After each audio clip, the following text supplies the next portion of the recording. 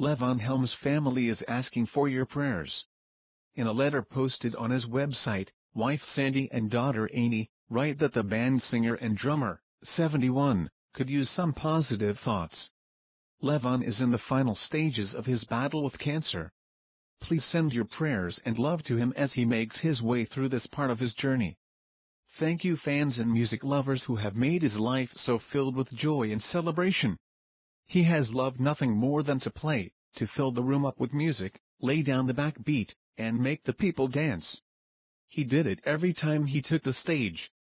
We appreciate all the love and support and concern. According to Billboard, Helm, 71, was diagnosed with throat cancer in the late 1990s. Intensive radiation treatment left him with a weathered, raspy voice that can be heard on his Grammy-winning 2007 album, Dirt Farmer. The Arkansas native has carried on a busy touring schedule and hosts Midnight Ramble events at his barn in Woodstock, New York. But several shows in recent weeks have been cancelled.